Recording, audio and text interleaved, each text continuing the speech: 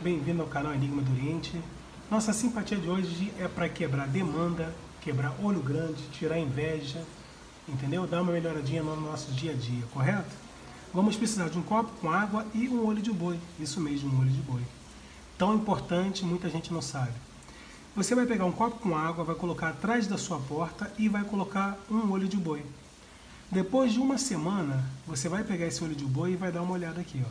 Se ele estiver aberto, é porque realmente ele quebrou alguma demanda que foi jogada para você, alguma inveja, algum olho grande.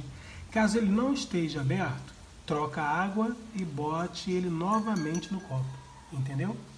E vai fazendo isso, vai te dar uma proteção, vai tirar aquela inveja daquela pessoa que vai na sua casa, fica observando tudo. Mantenha sempre essa água limpinha e o olho de boi ali dentro. Já sabe, abriu o olho de boi, você joga fora e compra outro e troca a água. Fazendo isso, sua casa vai ficar protegida, você vai estar protegido. Seja bem-vinda ao nosso canal, tá? Dê o seu like, compartilhe esse vídeo, vamos ajudar pessoas que precisam, entendeu? Aquele joinha, tamo junto.